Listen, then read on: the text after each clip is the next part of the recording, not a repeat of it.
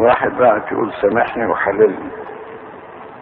هل يمكن رسامة راهب وهو ليس له أخ يعني وحداني؟ وهل يحر رسامة راهب وهو ثقيل اللسان؟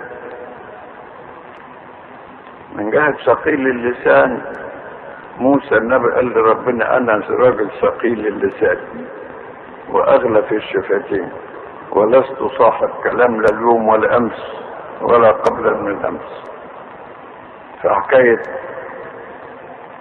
ثقيل اللسان جاي ثقيل اللسان وخفيف الروح. يعني ده مش عيب. يعني ذنبه فيه إيه؟ ملهوش ذنب. أما كون أن ليس له أخ وهو وحداني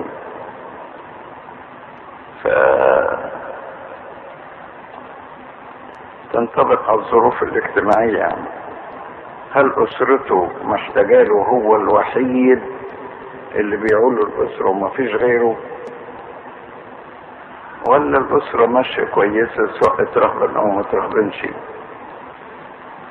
يعني الأمور دي ما نقدرش نعطي فيها حكم عام إنما حسب الظروف الشخصية لكل واحد نقدر نحكم.